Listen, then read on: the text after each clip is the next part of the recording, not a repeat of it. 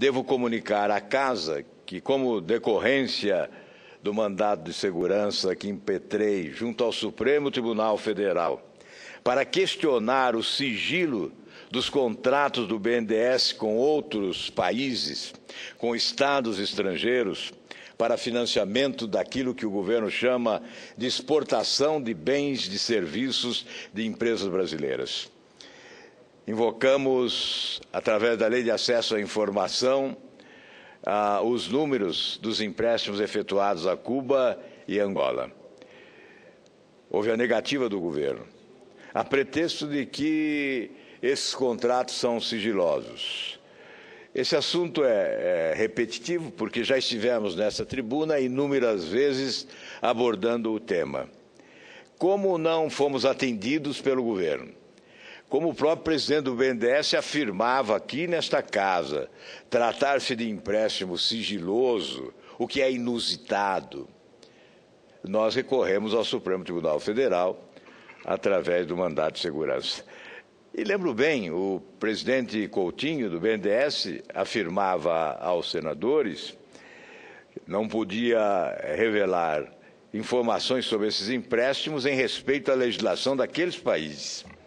E eu dizia que, para respeitar a legislação de outros países, o governo brasileiro afrontava a nossa própria Constituição, que propõe, que impõe, que institui a necessidade da transparência e publicidade dos atos da administração pública. Portanto, não importa a Constituição do nosso país, o que importa é a legislação de países autoritários, a exemplo de Cuba. O mandato de segurança foi entregue ao ministro Fux, que esclareceu que as informações solicitadas estavam, a partir daquele momento, disponíveis no site da instituição. Não concordamos com a integralidade das informações, elas não foram suficientes e recorremos com o objetivo de que o BNDES respondesse de forma é, completa apresentasse todas as informações requeridas. E, no decorrer dessas providências, a Procuradoria do Ministério Público do Distrito Federal, fazendo referência inclusive ao nosso mandado de segurança, ajuizou ação civil pública versando sobre o mesmo tempo, sobre o mesmo tema e foi julgada procedente em primeira instância, condenando o BNDES a tornar públicas todas as atividades de financiamento e apoio a programas, projetos, obras e serviços de entes públicos ou privados que envolvam recursos públicos. Portanto, diante desta ação civil pública, já acolhida em primeira instância, esgota-se o nosso mandato de segurança. E ele pode dormir no arquivo, já que há uma ação civil pública à frente.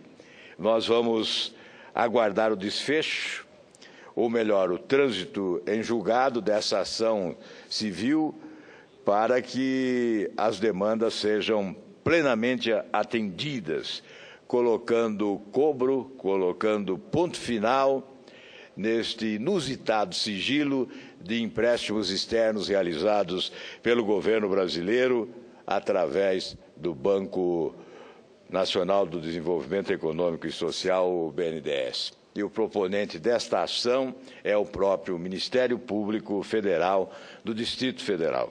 Portanto, nos julgamos contemplados com esta providência do Ministério Público e comunicamos à Casa o arquivamento do mandato de segurança que impetramos junto ao Supremo Tribunal Federal. Além desta providência, nós apresentamos na Casa um projeto de lei impedindo a concessão de empréstimos mediante sigilo bancário. Sigilo bancário não existe para negócios públicos.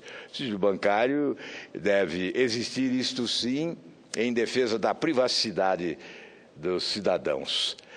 Quando se trata de dinheiro público envolvendo nações, não há razão alguma que justifique o sigilo bancário. Muito obrigado, senhor presidente.